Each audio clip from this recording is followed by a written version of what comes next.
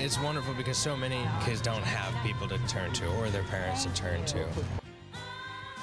I think that it's great for anybody that doesn't have that family, that does need somebody to talk to. To the people of the Trevor Project, you are my heroes.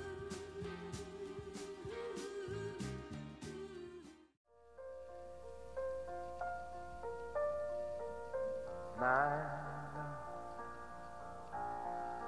there's only you in my life, the only thing that's right. My first love. How did Trevor go from being a, a film to becoming a nonprofit organization called the Trevor Project? We had the idea that it would be so great if we could get the piece on television. We knew it could be of great service. The fact that it won an Academy Award was immensely helpful, but we also knew it needed a celebrity tie-in. And Randy had a contact to Ellen. Hi, I'm Ellen DeGeneres, and I would like you to uh, watch this next movie, uh, please, because uh, I think it's great. It really was at that point that we knew the film was going to be on air that the Trevor Project was born. Trevor, the project, you know, turned into this wonderful educational experience and this opportunity for uh, young people to have a place to call. Trevor Helpline, this is Brooke. Almost a, a face of family for young, young people who are questioning. The Trevor Project operates the only nationwide, round-the-clock crisis and suicide prevention helpline for gay and questioning youth. We've answered over 100,000 calls. We have literally saved lives. We've performed rescues and stopped people from killing themselves. Sadly, suicide is the third leading cause of death for young people. That's ages 16 to 24. For gay, lesbian, bisexual, transgender, and questioning teens, they're four times as likely to attempt suicide than their heterosexual peers. Most of our calls come from right here, in this region here. We just named this call center after our late founder, Randy Stone. We have about 90 helpline counselors between Los Angeles and New York, and, and several more in Washington, D.C. Kids feel safe calling Trevor because it's an anonymous person on the other end, and it's important that kids can talk to someone without being judged. I'm so moved by the wonder in their voice that there's actually someone gay on the other end, or even just someone on the other end listening who they can talk to about things that they just can't talk to anybody else.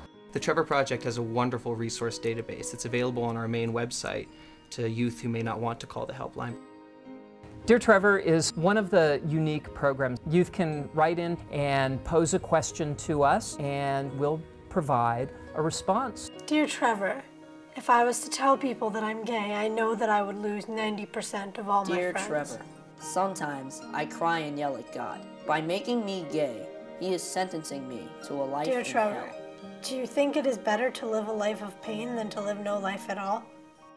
We're also launching Trevor Space, and Trevor Space is an online community for gay, lesbian, bisexual, and transgender youth.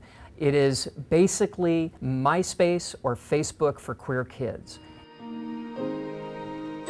I feel that the great thing that the Trevor Project has done, and in fact the great thing that Trevor, the film, has done, is to be able to connect people with that time and that yearning for life. And by connecting older gays and lesbians with that part of themselves, they feel more emboldened to reach back to a younger generation and just and, and give a leg up. The Trevor mission really is an opportunity, I think, for all of us to look back on our lives and say, how can we give back to young people? The more the word gets out about the Trevor Oregon, the Trevor Helpline, the more calls we're getting. And it's only growing, it's not getting smaller. The Randy Stone call centers will be supported forever. For all of us, that's an incredible legacy. The fact that it has survived for 10 years and the fact that it has grown is because we never wavered from our original mission, which was to reach out into America and create a connection to people who were suffering, a life-to-life connection. And we've never wavered from that. I mean, is there anything greater than being able to save hundreds of thousands of lives or tens of thousands or even more? In the course of our lives, if we get to do that, yeah, that's, that's the best.